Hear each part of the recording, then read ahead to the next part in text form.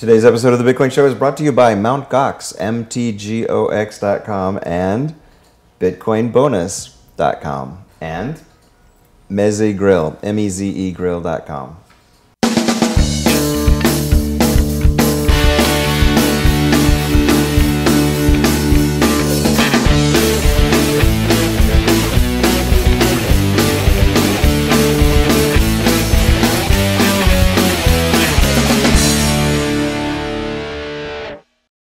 Hello, everybody, and welcome to the Bitcoin Show. This is episode 45, and today we're starting something new. Uh, uh, every Thursday, kind of a panel discussion among uh, key people in the Bitcoin community, some uh, very well known and others less known, but um, just as interested. So, um, today, uh, this particular episode uh, is the 8th of September, and joining us is the several people. First, um, Yifu Guo who is sitting right here in, in the studio with me. And Yifu is uh, not only uh, known as the uh, you know creator of BitcoinNavigator.com, which is a new site that he created, just whipped up in a hurry right before the conference because there was a need for it. Right. But it actually doesn't look like it was whipped up in a hurry. It's like really, really pro site about you'll tell us about that more but bit, about uh, bitcoin in, in the real world the physical brick and mortar bitcoin world and uh, yifu is also the host of the new about to launch on Saturday, the Bitcoin Show in Mandarin Chinese. So welcome, Yifu. Thank you. and then also we have with us Darrell Duane.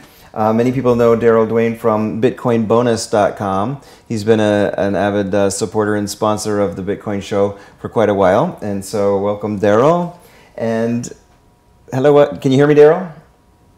Thank you, Bruce. There you are. Okay, a little Skype delay. There we go. And Steven Wagner, he's not actually related to me, but you know, like only in the spiritual sense. But you know, maybe six degrees of some separation. We had the same great great great grandparents or something. But Steven Wagner is from HowManyCoins.com. Welcome, Steven. Hi. Thanks and uh, Jared Ostmeyer. Many people remember Jared from uh, SearchBitcoin.com. Uh, he was a guest on our show previously. Uh, he's the guy who created the widget, the famous widget that shows you all the things you can buy with a Bitcoin. So, welcome, Jared. Glad to be here. Thank you. Cool. So, so exciting to do this, and we have no agenda, no topics laid out or anything except Bitcoin. And uh, this, I think, will prove evident that uh, there's never a shortage of things to talk about in the Bitcoin world. Even if you're not up on the latest news, there's always something. So, um, so what's new with you guys? What, what, what's on your mind about Bitcoin this week? Uh, well, there was a few uh, a few big happenings on the web with Bitcoin. Uh, yesterday, everyone was really blowing up about uh, the Krugman New York Times article.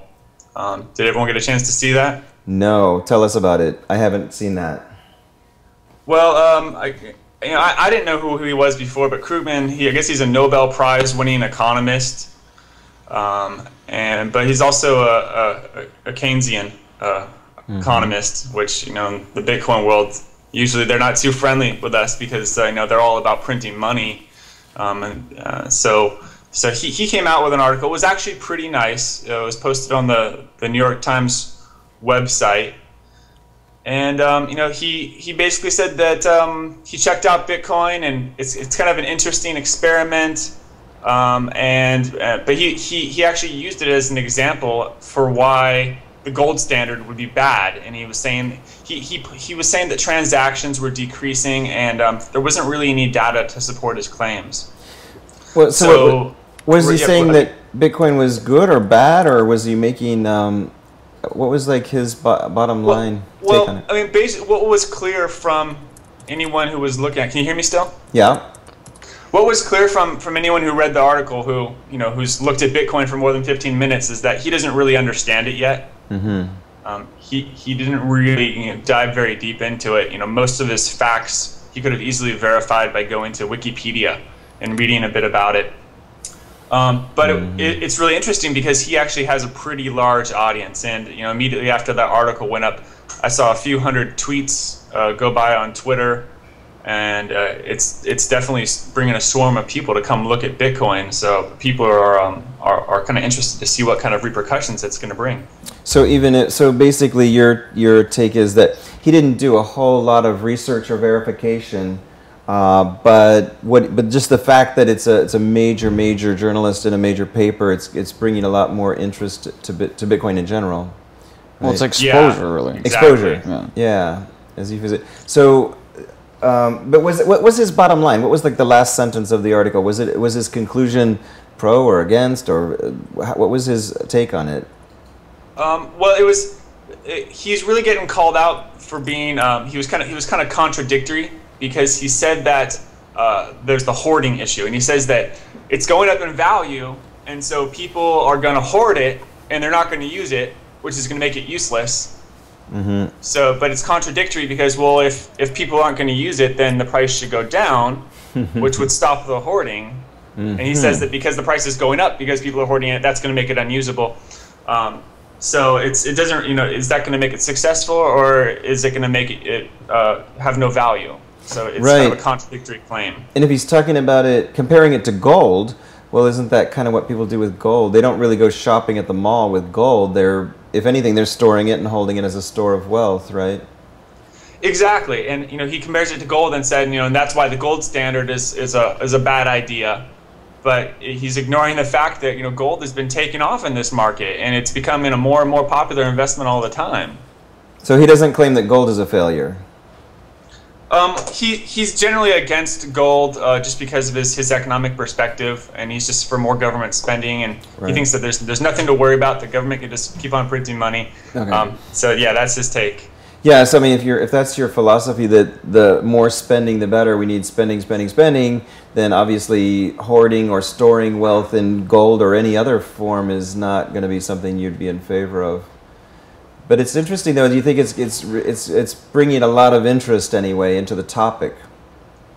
Yeah, I mean it's introducing a whole lot of people to Bitcoin who've never heard of it before, and I actually ended up um, I you know I was participating in the, the conversations on on the comment thread, and uh, ended up having a few exchanges with with uh, people on the thread who were investors, and it uh, ended up you know turning into an email conversation with them, and these are people who are uh, you know serious investors who are investing in uh, you know, precious metals or in, in stock markets, and they've never heard of Bitcoin before, and so uh, you know I, I had that conversation with them and ended up sending a bunch of links, and a few people got interested. Just tell me, Uncle Bruce does a show about it. No, I'm kidding. Yeah. no relation, no relation. That's cool. So, um, what what do you have, have you guys had a chance, Jared or Darrell or Yifu, to um, did you see that article or? Uh, glimpsed to it, but I didn't really like take a look at it. How about you, Darrell? Uh, yes, No, uh, I'm, you know, I'm just getting back from a week in the desert, so I've not had a chance to catch up on it yet. Oh, okay. On the latest news, yeah. How about you, Jared? Did you get a chance to see it or? I skimmed through the article, and my impression of the guy is he goes through the same kind of introduction that most people go through when they first learn about Bitcoin. Their first reaction is they're skeptical of it, um, and so there's, you know, that that was my first reaction. Most people I've introduced to it, they're they're skeptical and ill-informed, and it's not until months later that you know when they see it again for a second, third, or fourth time that they actually go, "Oh, this is starting to make sense." Mm-hmm. So I'd like to see what what he says about this about Bitcoin, you know, six months from now or eight months from now. Yeah. So. What do you think? What do you think that when these reporters do these stories, and and as is a common theme, it seems that people say they're ill-informed. What are would you say are the like the top three things that they're ill-informed ill-informed about? Like, what do they get wrong more than anything else? Uh, you know, it varies. I mean, I think the most important things to focus on when introducing the currency to people is that this is a digital equivalent to money. Uh, the, the coins are stored on your computer. You can send them online. So, somehow, it's somewhat similar to sending an email. Um, these are concepts that most people, when they're first introduced to it, uh, don't hear about. Most people, when they're introduced to Bitcoin, they're introduced to the mining aspect, um, or some other as- obscure aspect of the currency, and they miss, you know, the core values of the currency, which is, you The know, basics. it's it's decentralized. You Right. own it. Especially the Um, technical parts. That's like the biggest thing. They don't understand how technically it works. Right. And a lot of the news they've been hearing about has something to do with like third party related stuff, whether it's Mt. Gox or MyBitcoin. That has nothing to do with Bitcoin itself, like the how it works in the protocol wise, and that's like the big problem. And and there's really no easy way to kind of explain it to in, in layman's term, but I think in the future everybody has to understand how it works in order to fully utilize it. the basics that it's not that it's uh, the the currency is not the bank. The bank is not the currency. There has to be Right, like difference that gold is not Fort Knox. Fort Knox is not the gold. It's two different things. And and like you say that you know mining is a whole other thing. When you when you talk about gold and, and a vault that stores the gold. You know, mining is a, is a, is a side issue. That's Right. like, you know, of course, where it comes from, but that's really not like the first thing you get into when you learn about investing in gold is mining, right?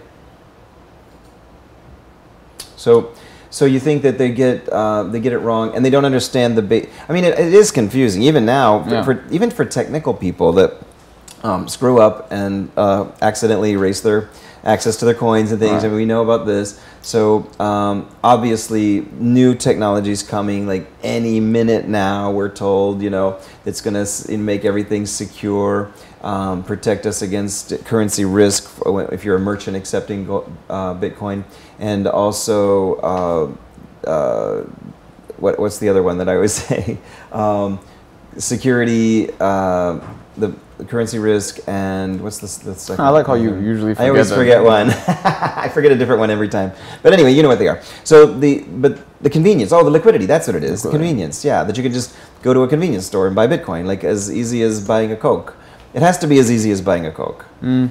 and um, in order for it to take off. So these are the three things that are. Uh, we're told the technology is coming that's going to fix all those things real fast. But um, in the meantime, it's not so easy. So it's hard to No. explain to someone how do you do this when there is no de facto way to do this. Right. And the Bitcoin development isn't focusing on like UI at all, like the core people. And and that's good because they totally just hacked up that, you know, wxWidget thing and made it usable, but that that's not even they just kind of chose it because it was universally enough to compile in, in the programming sense. But not definitely they didn't design it for like user experience or usability and that will come in the future. Yeah, they figure that that's going to happen any, anyway. There are enough people that can develop for um, the user interface can be done by anyone, right? I mean, that's the the core Bitcoin is the is the real essential thing, and that's what they're focusing on.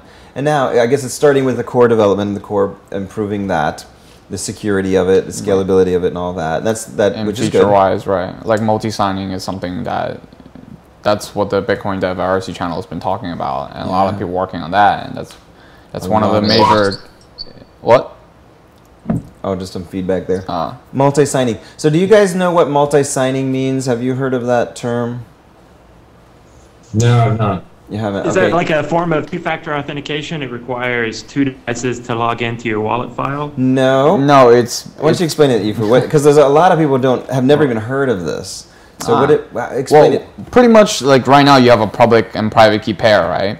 Now you have multi multiple signing transactions where a transaction is signed by three public, uh, three private keys, or and it, could work in numerous amount of like logic equations where it requires key A and B to to lock, or A, B, or C, you know, and and so you, you could have X sub y. Right. you could have you could require almost the way here. I'll explain it in my terms. You tell me if I'm right. So in in you know my basic uh, for dummies terms, um, for me, um, if you know you open a business account and you can have eight signers on a on a business account and you can set it up so that it requires four of the eight or five of the eight signers to to write a check, for Right. example. So you can actually, and we're not talking about, um, we're not talking about a bank or an e-wallet or a service or a, a layer on top of Bitcoin. We're talking about Bitcoin itself, like the actual. When you uh, sign transactions, yes. actual transactions in the blockchain. Yes. There's a method, uh, some sort of a hashing algorithm that can be used, a modification to it that allows X of Y to must authenticate it with it with like say five of eight private keys. So I don't we don't have to all give our keys to someone else and trust that one person. Right. We literally any five of these eight keys can be used to make this transaction. Is that right? Um, I don't think they worked out the whole like any five out of eight yet, but the current proposal is I think there's five cases gathered and rolled on the GitHub, which is like um, ABC or like eventually the AND. So like you require multiple keys, and currently it's designed to have or it's multiple keys plus one master key Multiple keys Or- one master key. or any of three keys. So it's not it's not as like I don't think they worked out the logic for five random keys out of eight to, to work it because it's because they're using the script to do this and the script mm. language is, is a like straightforward left to right thing. So it has to work in a stack. Oh. So I don't know how they're gonna do five any five out of the eight for the signing yet, but I think we'll, we'll figure it out eventually because they're they're they're working on this now. Like that's that's one of the. So they're using scripting, not a new type of hashing. It's a it's the scripting that's uh, capability that's built into Bitcoin to, to Right, achieve scr- this. Right, scripting is how you're signing transactions now. So pretty much you're adding more logic onto the script when signing Wow. transactions. Do you understand that? Do you guys understand what he's talking about? Yeah, I, mean, I, I talked about this a little bit with um, with Gavin when I was out in New York at the conference about the, uh, the multiple sign transactions, and uh, interesting to see when that's going to be implemented, how it's going to work. Um, you know, there's it's it, you, if you have you have two keys on a transaction, then um, you, you have you have more security being spent if it's stolen from you because if someone steals your wallet, then um, you know they still there's a whole other set of keys that they need to be able to make it useful. Um, but then uh, you know I'm I'm interested in how it work because on the other hand, lose one set of keys. Um, you, you, there's actually a little bit more risk there because now Yeah. you have you have to have both sets of keys in order to uh, to, to be able to use the, the money. So it's, if you if you lose one of your wallets, then the key then the coins become inaccessible. So Right. um, I'm curious to see how that's going to solve. But I think there's there's there's probably definitely some interesting scenarios and possibilities for that to be used.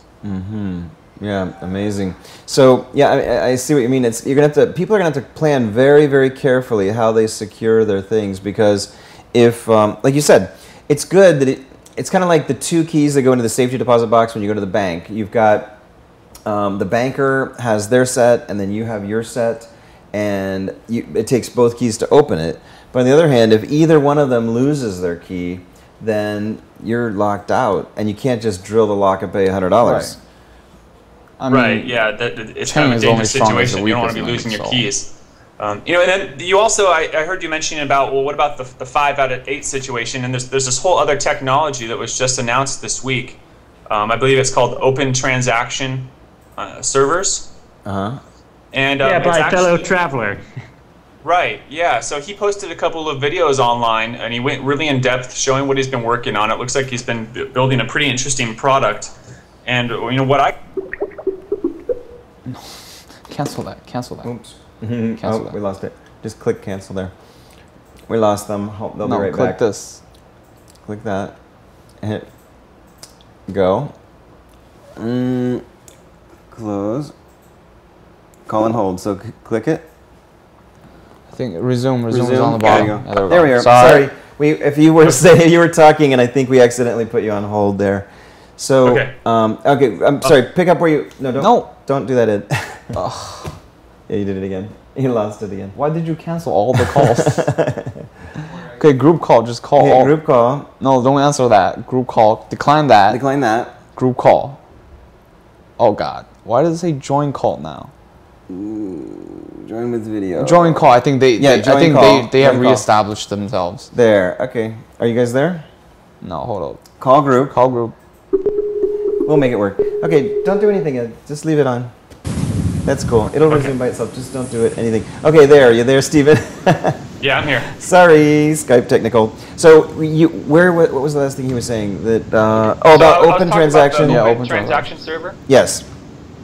Um, so yeah, it looks like what it is is um, it's uh, it could be like a re- it's a replacement for uh, either a, an online wallet or an online uh, exchange. Um, so it's it, acts as a server that people can go to in order to facilitate transactions. Um, but what's interesting about this server is that it's it's decentralized. So um, it actually acts as a decentralized layer of abstraction for for Bitcoin. It, so it doesn't replace Bitcoins, and it's not really part of Bitcoin. Um, it can be used with other currencies as well. But there's a lot of interesting possibilities for how it could interface. How and could work it as another layer of abstraction to I haven't- facilitate uh, Bitcoin transactions. How could it interface with Bitcoin? Like, what? Can you give me an example of what what that could do? Um, well, ba- you basically you create an account on the server, and you could uh, deposit some some bitcoins onto it, like you would do with a wallet or like you would do with an exchange. Um, and once they're on the server, then you could send them to other users on the server. Um, but what's what's really interesting about it is that since the server is decentralized, if one of the servers get hacked gets hacked, they're not able to to steal anything or uh, to, to get your coins because um, if the server network is decentralized and there's there's eight servers, then they would have to hack into multiple servers in order to be able to commit any kind of theft. Right, so it's still the 51% networking problem that all distributed networking faces, in So- theory. Or am I missing something? You hear what Yifu was saying? No, I'm sorry, I didn't does hear speak that. really loud because his mic's over there. But so what I think what you was saying is that if it's distributed, then you're still facing the 51%. networking problem, like the 51% networking attack, pretty much.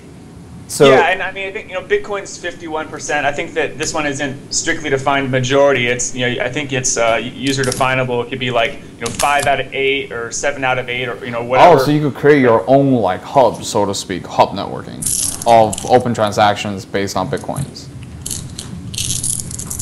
Yeah, or, or it might just end up being one one large swarm network that everyone's connected to. Um, but since it's an API interface, you could have one server that's uh, you know it's written to interface in PHP, and another server that is uh, you know written in C++ or another language, um, running on completely different infrastructures. So it's not like one exploit would be able to exploit all of the servers. Right, right, right. So, so I understand you, what you're talking about is a distributed, kind of like it, it could act as an e-wallet, but in a distributed way, and the underlying currency could still be Bitcoin.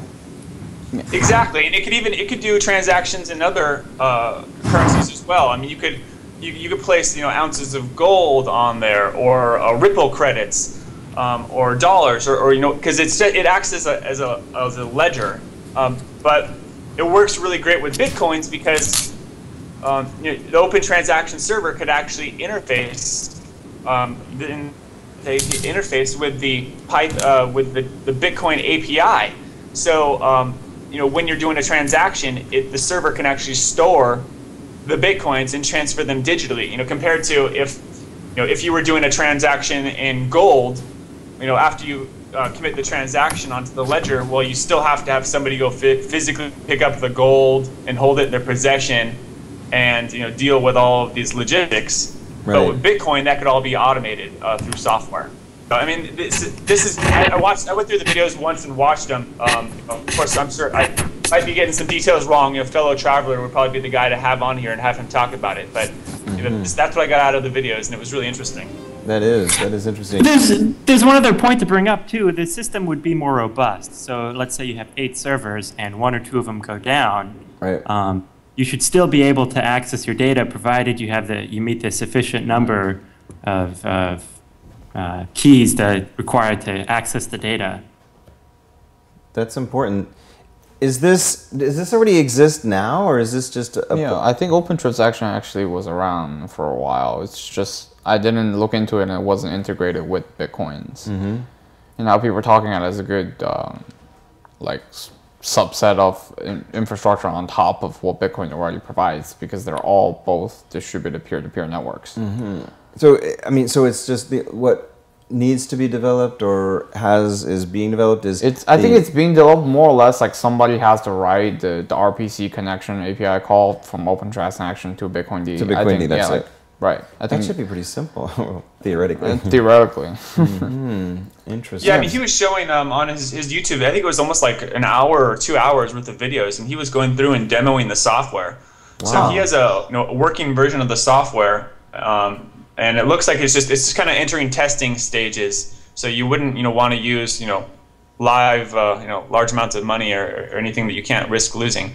But it looks Right, like uh, totally. I mean, we could just swap on the testnet and play with it. I suppose. Like if it's Mm-hmm. out already, is it available? Like they, they, they have like a GitHub link or you know like I don't. is it available already?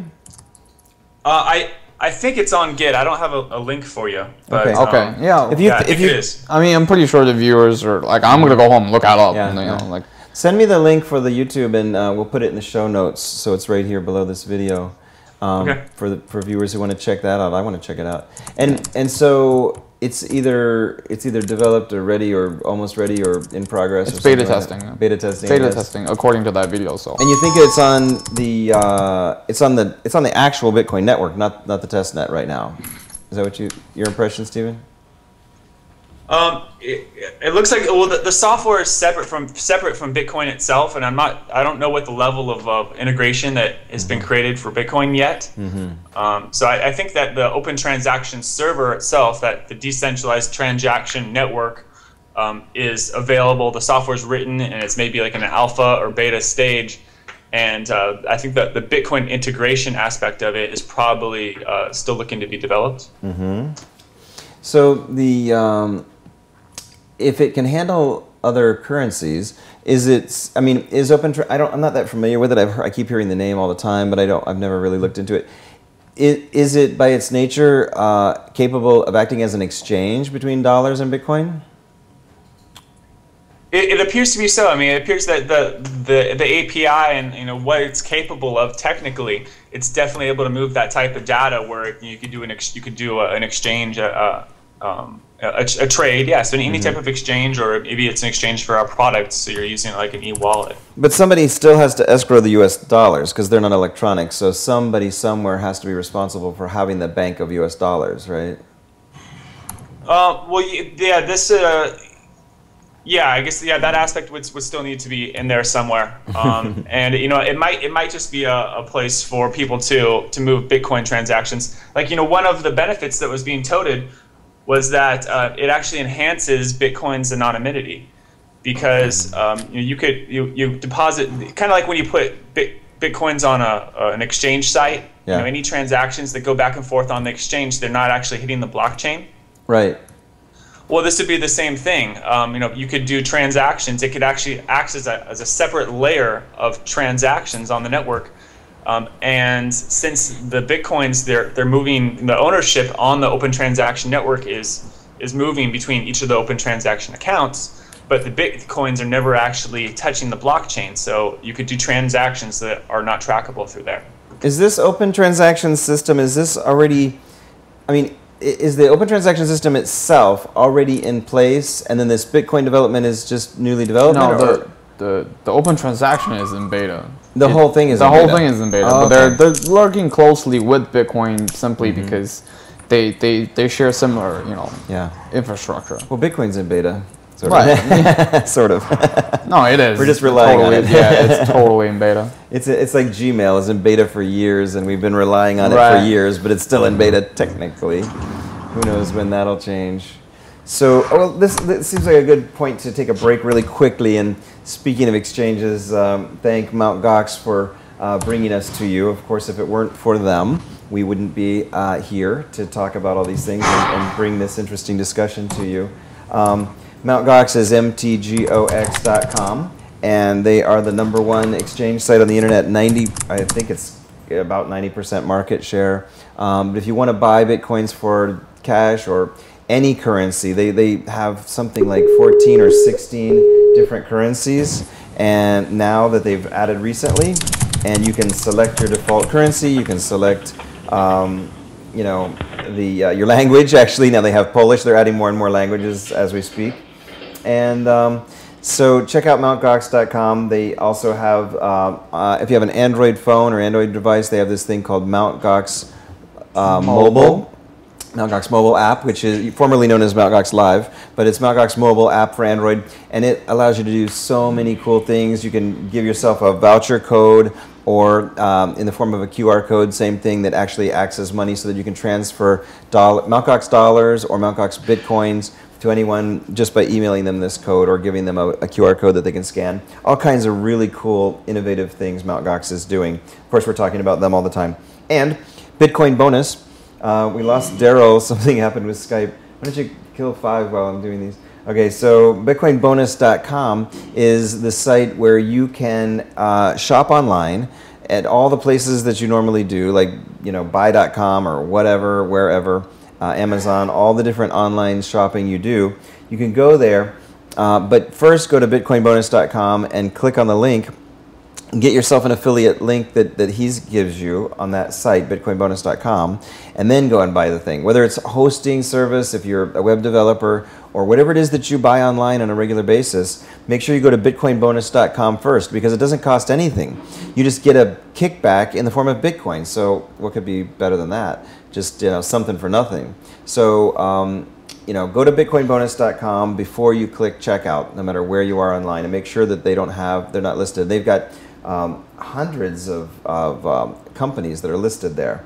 So check that out. And we thank uh, Darrell of Bitcoin Bonus for uh, sponsoring the Bitcoin Show. And of course, Meze Grill, M E Z E Grill.com, where authentic Mediterranean food meets modern flavor whenever you're in New York passing through or you live here, whatever. Go to Columbus Circle, three blocks south of Columbus Circle and uh, check out the world's first brick and mortar restaurant that accepts Bitcoin and sells Bitcoin for cash. Open seven days a week for breakfast, lunch, and dinner. We thank Meze Grill for sponsoring the Bitcoin Show, and uh, Meze Grill is now um, offering franchise opportunities. So it doesn't matter if you live in Malaysia or uh, you know Brazil. If you want to open a Meze Grill in your town, then um, just contact Meze Grill at uh, Bitcoin at mezegrill.com about franchise opportunities.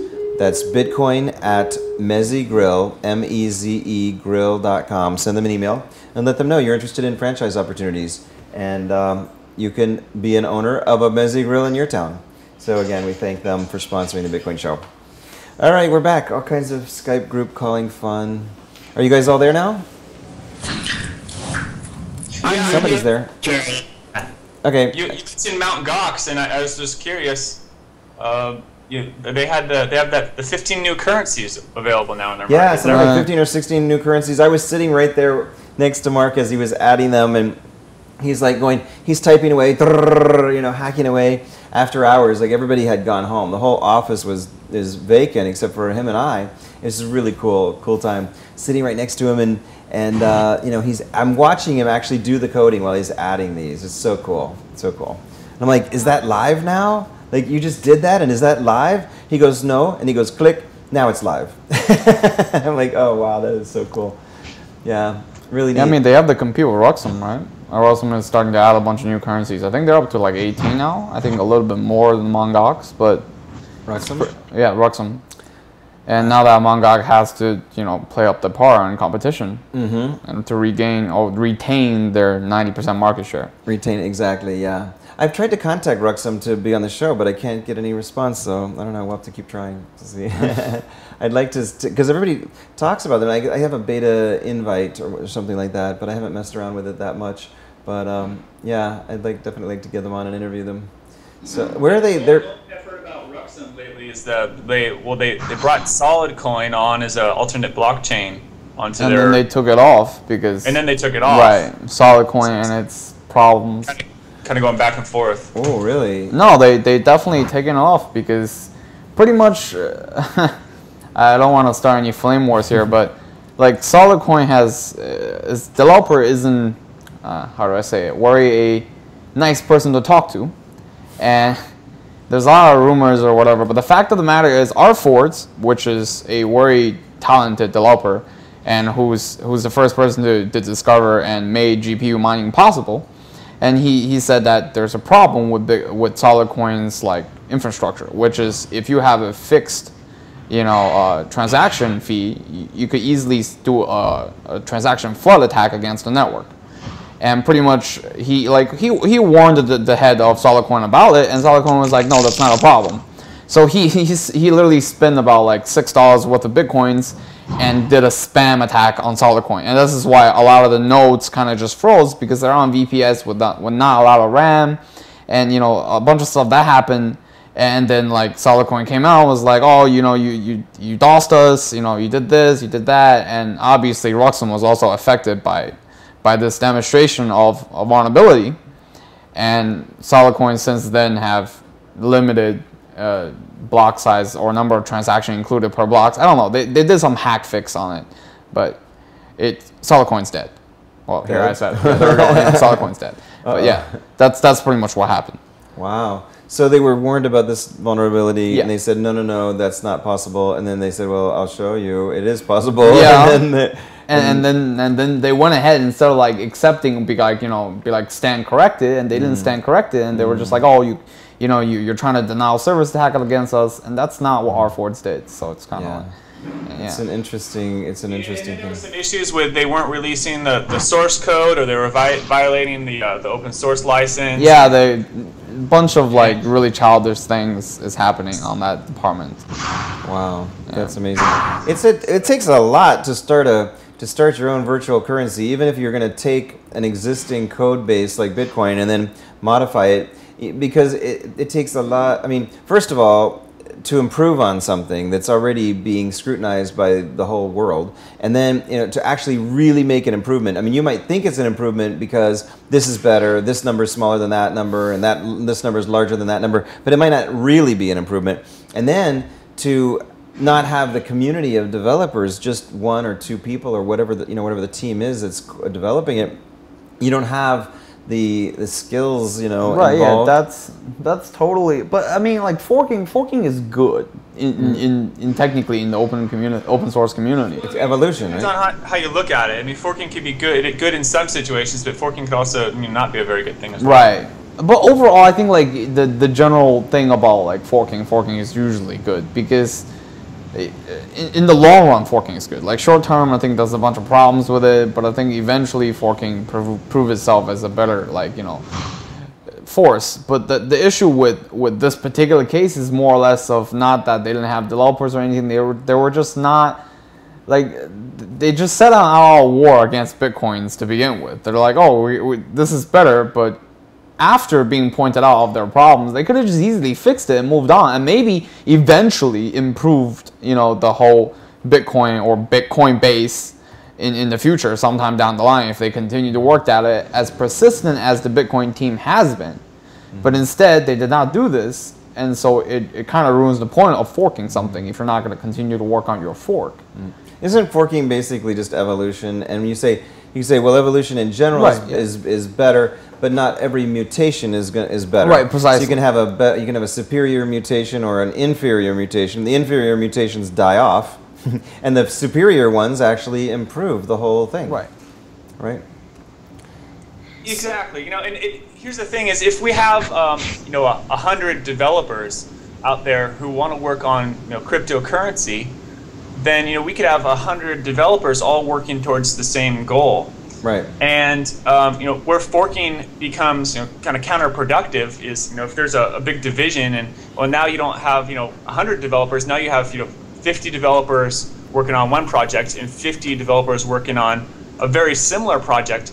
There could be a lot of duplication of efforts and uh, in, you know lost energy while we're all really trying to work towards the same goal. True. Um, you know, now if, if it was like a 50-50 split, then you know maybe there's a really big decision, uh, you know, a difference in uh, philosophies or development styles um, that needs to be worked out. And so maybe for a while you do need to have two competing versions in order to figure out, you know, which one in the, in the long run is going to be superior. So it's always necessary to have that threat of code forking yeah. because it keeps keeps people on their toes. You know, it's it's it's it's part of the security of, of Bitcoin. It's it's why you know Gavin only has so much power because if he was to start making bad decisions, if he wasn't representing the users, then people would just move away from him and fork the project. Right. So, and even so you have to ha- that it's actually the threat of code forking that keeps you know the leaders of open source projects uh, listening to their audience and listening to the users. Yeah, and these brilliant minds and coders, they don't they don't want to waste their time. So I I think that if they see something is inferior, they're gonna very quickly Yes. abandon that Right. and move on to something. There's only really two types of forks. It's usually a private fork or something really like like Stevens mentioned that really diverse in ideas. But mm-hmm. usually it's pretty much a private fork or a fork that doesn't really work, as demonstrated several times now. And there's there's a bunch of forks, and and really like persistency is what really rules in the open mm-hmm. source forking. Like if like the master branch is always going to be the people who most committed, and the mm-hmm. and the most committed branch is going to be the master branch. So it's like you either are or you become it or you are mm-hmm. it.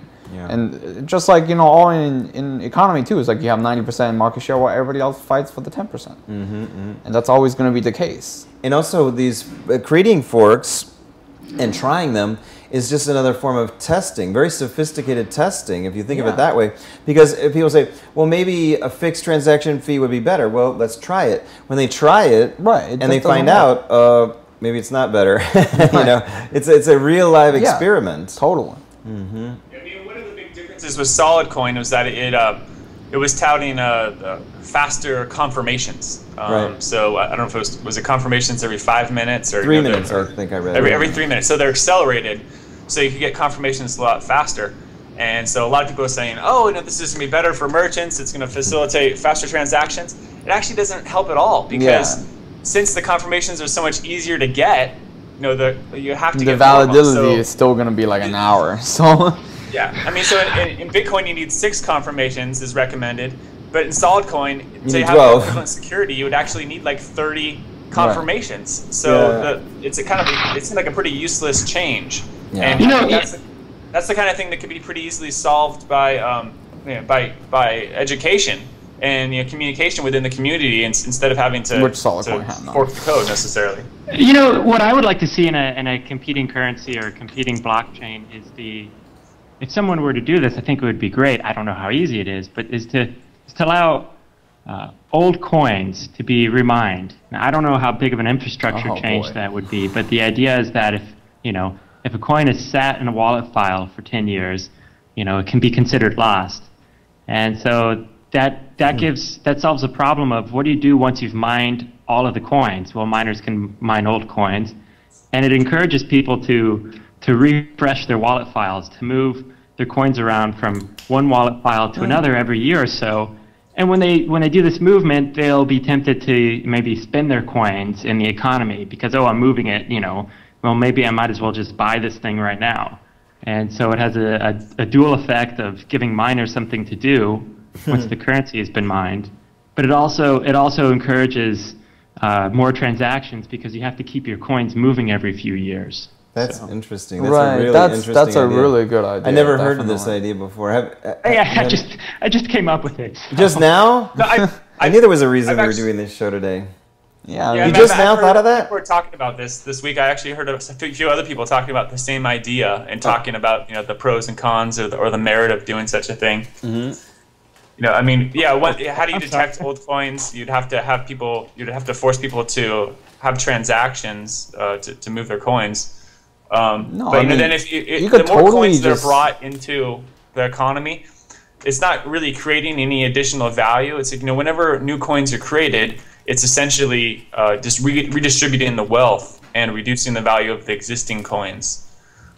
in a sense, but I think I think there's actually still at this point more coin lost from the from like when they're worth like a cent. Oh, then yeah. then there's there's coins like available because I'm You think pretty there's sure more coins lost than are actually uh, controlled right now? Right. I, I, that's well, maybe not now, but like I think a large port, like more than what I would feel comfortable with. Like in the percentile, I'm pretty sure it's above ten. Like the total circulation of bitcoins, I'm pretty sure like ten percent isn't in anybody's hands at all, and and that comes from the mining like before. And I I, re- I remember cases where people have like hundreds, maybe a few thousand bitcoins from the old days, mm-hmm. and are just completely gone. And. Yeah. I'm pretty sure that's not a Very small common. percentile, and it was very common back then because Yeah. it was worth nothing. Right. And I think that might be interesting if you're able to remine it. If somebody's able to like just do a, like systematic analysis on the blockchain, and to see what you know what coins are on what address that hasn't been touched since they were generated, because that's usually probably the case. Because back then, you know, all the coins are moved to an address, then it starts dormant. Well, it's it's generated to an address, and then it probably either haven't been moved since it got generated to the address, or it was moved like once or twice and it just stopped moving. And but since all the since like we have complete transparency within the blockchain, we could easily find out what coin hasn't been moved since like 2009, easily. And I think somebody did that. I think somebody somebody did the math for that because they're they're trying to like make a funny thread about how like Satoshi and them has like over 1.5 million bitcoins because that's the amount of Bitcoin that's been generated since the year 2009, or hasn't moved since 2009. But somebody did this work. It's it's mm. actually really easy to find out mm-hmm. when the last time is possible. But I think if if we reach a community like agreement on the dev team to be like, okay, so every three years you gotta move your coins, otherwise they become invalid. That'd be really cool too. like if if You know, we all agree to it, you know. This brings up another point about the blockchain. You know, how flexible is the protocol? You know, I don't know myself, but you know, I would hope that we could, you know, evolve to Bitcoin 2.0 or Bitcoin 3.0. Um, we'll have to see, I guess. You know, and someone, I, you know, I'm sure some people know this answer. I just wouldn't know who. I mean, I'm sure Gavin knows, you know, how flexible the protocol is. I suspect not very flexible because, uh, you know, basically when they when the, when Satoshi and you know, whoever else was you know, working on on Bitcoin, I, I suspect they decided to make it as firm and f- the protocol as firm and fixed as possible to prevent the currency from being manipulated. But I'm pretty sure. Yeah, well, the- the- I'm pretty the sure the protocol stop itself is. Uh, I mean, it's it's just software, so you know it could be modified or rewritten. You'd have to get over 50% of the people to agree to the changes, I I suppose. Yeah, Well, and, you know, right. when a new version of Bitcoin comes out, you know, the I think what point four is going to be coming out soon, and you know, pe- people upgrade. That's that's that's pretty easy to do. Uh, but I think uh, from a philosophical standpoint, and you know, mostly a matter of you know, you don't want to undermine people's confidence in Bitcoin. And if you change the rules of the game, um, you know, if if you know if you change it so that you know somehow uh, there's a possibility that people could lose their money through it, then that could be pretty detrimental. So I think, it's, you know, from a philosophical point of view, Gavin said that you know it's pretty much set in stone. Yes, and I, I suspect the protocol is set up to be as set in stone as can be, you know, Well, actually- made possible with software. So No, well, if you if you actually want to just stop, like for example, you want to stop nodes from propagating transactions past that were made on an address before a previous time of say 2009 December 31st, you could do that. You could like actually limit that from propagating. There's even an alert system built into the Bitcoin network to stop that. Period.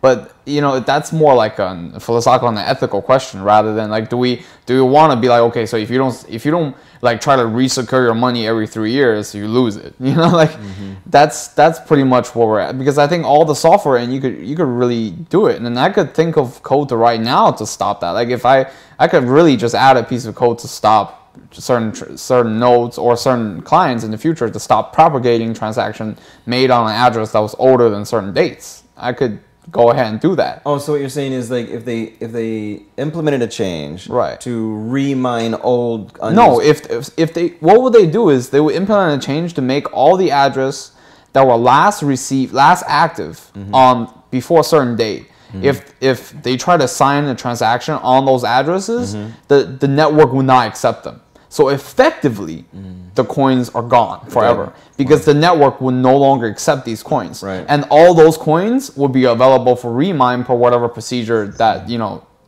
in the future we figure it mm. out. Mm. But you could totally shut down a large percentile of coins by by limiting what transaction propagates through the network. but more than 51% of the clients would have to out, Right. have that. Right. Yes. Otherwise, okay. So basically, it's both. It's, it's philosophical, and then how that would it be implemented technologically. So every every miner is a vote. Everybody who's actually uh, processing pretty transactions much. is a vote, has a vote. Yeah. So it's kind of democratic in that Yeah. way. Total. So the question is like, if you're able to, you know, you think of it like, in, we think of it in gold, like you drop a, a gold coin from the side of a cruise ship and it's gone theoretically forever, sort of. You didn't. It's not really gone. It's just inaccessible. Nobody can go and Right. spend it. Similar. So if if you reclaim those coins and then like a new miner, basically it's like discovering. It's like discovering a sunken Yeah. treasure. Like they Really. rediscover that coin. But isn't that the same thing as just adding more than 21 million coins and making the limit, you know, 42 million? I mean, what's the difference between that and just increasing the number of coins, and then which nobody wants? Well, I mean, in, in rotation theory, that it's still not in circulation. It's not like you know somebody uh, uh, buys something and then claim their credit card's lost, and then there's a lo- there's a loss of value.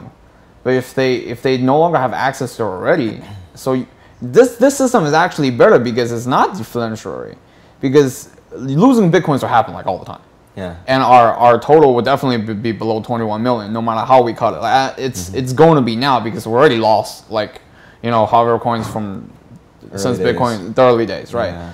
So, but this system will allow us to keep that 21 flat, no matter Right. how we grow.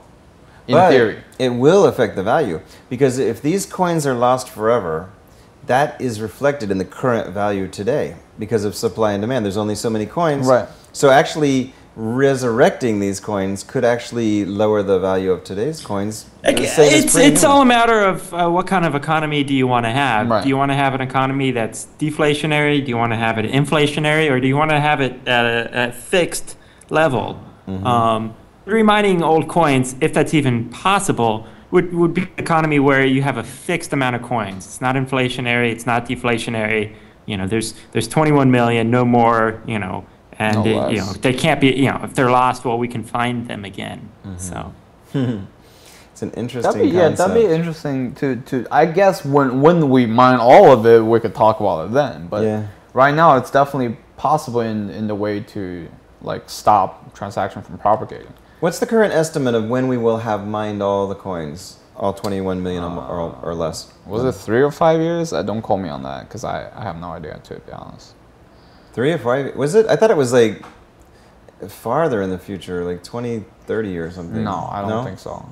And Well, I mean, it's it's it's pretty that far in the future, but the thing is, is that uh, there, the, all the coins will never be be mined complete. Never actually reaches 21 million because it just keeps on halving. So it's going to go from 50 to 25, and then I guess you know 12.5, and it's going to keep on halving, and it's never stops. It just keeps on reducing that value in half.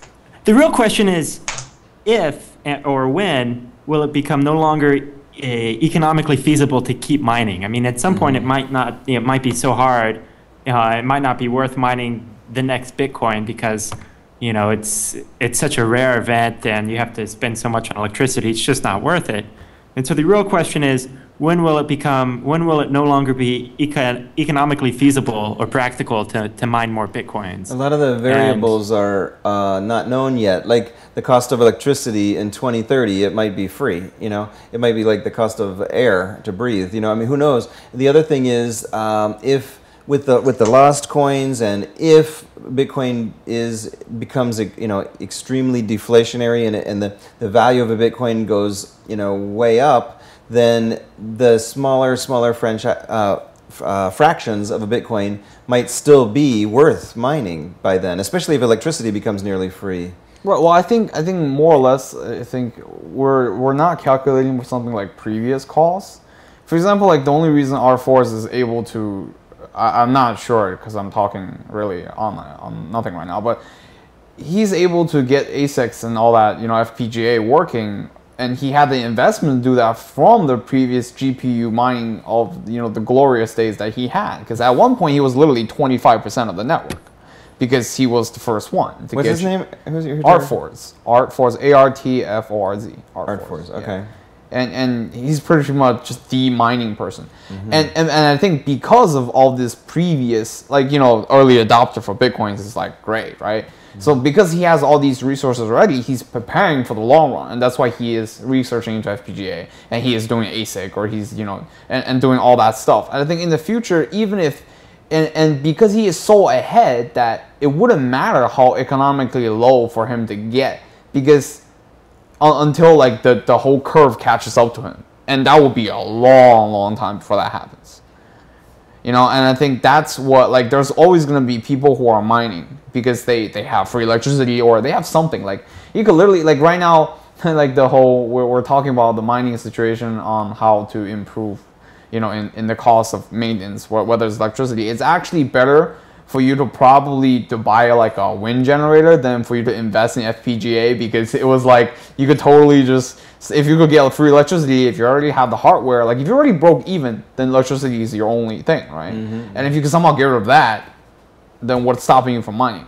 Like if electricity is not a problem and bandwidth is not a problem then you mm-hmm. can mine indefinitely no matter what the price is and Do you it'll use still a wind generator to create the electricity to do the mining? not yet That'd be cool. Wind powered mining. Yeah, wind, solar. You know, I think alternative energy, like everybody's pushing for it. Like mm-hmm. Con Edison is pushing for it in our mm-hmm. tri-state. Mm-hmm. I think that that eventually become a big thing. I think they're actually installing these like water turbines in the Hudson River to oh. power stuff, and that's gonna go in a few a few years or so. But yeah, Wow. yeah. Well, I, I you know, I don't know about the future, but uh, you, you can't you can't really hope to really predict energy costs in the future. Um, you know, we're Oil running, uh, lower- or we're running out of gasoline. I mean, in 50 Yeah. or 100 years, you know, we'll probably have mined all the gasoline that's uh, that can be mined, and you know, we'll have to look at other energy sources. Um, but that's a whole different question. I don't think you can really try to predict energy Yeah. cost and say it's going to go down in the future. So. And also, um, with the with the new processors that will be invented, they might require little or no energy. You never know. We might be some sort of bio processor that doesn't actually require any energy. It just runs on carbon monoxide or something. Who knows, right? I mean, you can't, you Yeah, can't, or- there's too right. many unknowns, Right. really. But it is fascinating. To, But currently, to- yeah. But if you calculate all the previous levels, then there are so many people that saw ahead, and it wouldn't Mm-hmm. affect them. yeah. Yeah. Interesting, very interesting. So, do you guys think that uh, the idea of, of being able to remine coins that haven't been used in three years is a good idea or Well, bad not idea? through. I threw that number out randomly. just to- yeah. Yeah, But I think I think people should talk about it. Like I think it's cool. I, I, I think it's an interesting thought experiment. I don't really see what um, what value it adds to to bitcoins, and it, it, you know, just anything that's playing with the supply of bitcoins, I, I think has the, the ability to kind of undermine it as an investment.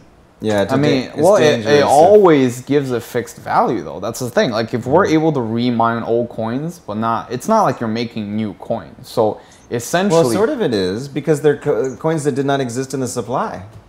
If they're lost, they're they're like they don't exist. right, exactly. So you are almost like making new coins. You know what I mean? It's yeah, but, semantics, but it's really. right. But your your supply is always fixed at 21 million. not really, because if a million are lost, you only have twenty million. You see what I mean? Right. I mean, as, as far as calculations, I suppose it would be nice to be able to say, oh, there's exactly 21 million coins in circulation right now. but you know, even, even, if even if somebody uh, you know is, uh, just moves their coins once every three years and you know doesn't spend them, um, they're not really adding any, any value uh, Right, into the precisely. economy. They're not. It's not affecting the price. So from it, from an economics point of view, um, you know, it, it really takes people actually being out there and you know uh, valuing these coins, purchasing them on markets. Um, you know, using them for products in order for them to affect the economy. Yeah, interesting. It depends on your philosophy, I guess. Because it's Right. like if you're if you're you know the grandkids open up the the safe or some some treasure box in grandma's attic after the funeral and they pull out this stock certificate bearer certificate for General Electric, you know, 5,000 shares of General Electric from 1932. You know, that isn't going to happen if, if everything just expires after Or you could have a years. box. I mean, there's an art installation. There's an actually an art installation from like I, I don't remember where it's from, but it, it puts itself on eBay all the time. It puts And- itself on eBay. Yeah, it puts itself on eBay. So Cool. you connect it, and it's it's a black box with an Ethernet jack on it, and literally Yeah, you power it up, and it will just sell itself on eBay. So you could literally have these installations that just send bitcoins to itself. Oh, Continue. Yes, you yeah. could- well, there you, you go. could- There'll be a service to do that. you could have a Bitcoins service, or you could have a computer that would continually uh, recycle the bitcoins from one wallet file to another. It's a But service. the idea is that if that if that service or that computer is ever lost, let's say you know uh, there's a huge fire or an asteroid you know hits the city or whatever, um, then those bitcoins aren't lost. Um, they can be recovered. Whatever that time frame is, maybe it's three, maybe it's ten years, maybe it's fifty years, but that um, if you know you if you're no longer able to recycle them because something broke down, uh, Mm-hmm. um, then they're obviously dead. They're lost, and you know, with this with this concept, you could then Yeah. you know, recover them. But save- remember, bitcoins are in, in nearly infinitely divisible, so they're just digits. You can just move the decimal place, and they're not really law. I mean, you know, there's there's never really a limit because you can talk about you know thousands of a bitcoin, and just as it, it all easy. comes. It, it all goes back to what kind of economy do you want to have? Yeah. Um, uh, you know, do you want to have um, an economy an economy that's d- deflating or inflating or is is is is fixed? So. Yeah. Right. I mean, the, from the economics view, it's uh, in Bitcoin with a fixed supply of 21 million uh, is is going to be deflationary because for there not to be deflation or inflation, uh, you're supposed to actually expand the money supply in order to keep up with the size of the economy and, and the, the GDP. Exactly. So you know, just, just it's it's it's actually you know how, how much is, is happening in the economy, how big is the economy, how many transactions, how many people, how many products, that it makes it inflationary or deflationary, not just the um, not just the number of coins. This whole thing is so fascinating. We could just go on forever, and we're out of time. I, I, we, I ran right up to the very last second. I hate to cut us off, but I want to thank you guys, Steven Wagner, Jared, um, um, Jared Ostmeyer, Ostmeyer, and yes. Darrell Duane, who we lost on Skype, and uh, obviously Yifu Guo. Thanks for joining us on uh, Thursday panel discussion Thursday, and uh, we'll we'll talk more. There's never an end. See you guys. Thanks for joining Thank us. you. Bye. Bye bye.